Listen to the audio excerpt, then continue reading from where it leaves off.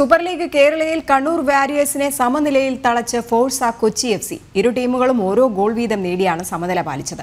കൊച്ചി കലൂർ ജവഹർലാൽ നെഹ്റു സ്റ്റേഡിയത്തിൽ നടന്ന മത്സരത്തിന്റെ ആദ്യ പകുതിയിൽ പ്രഗ്യാൻ ഗൊഗോയിയുടെ ബൂട്ടിൽ നിന്നാണ് കണ്ണൂരിന്റെ ഗോൾ പിറന്നത്. രണ്ടാം പകുതിയുടെ ഇഞ്ചുറി സമയത്ത് ടോറിയൽട്ടൺ ആണ് കൊച്ചിക്ക് വേണ്ടി സമനില ഗോൾ നേടിയത്. ഏഴ് മത്സരങ്ങളിൽ നിന്ന് പതിമൂന്ന് പോയിന്റുള്ള കണ്ണൂർ പട്ടികയിൽ രണ്ടാം സ്ഥാനത്താണ്. ഇത്രയും മത്സരങ്ങളിൽ നിന്ന് പത്ത് പോയിന്റുള്ള കൊച്ചി മൂന്നാം സ്ഥാനത്ത് തുടരും.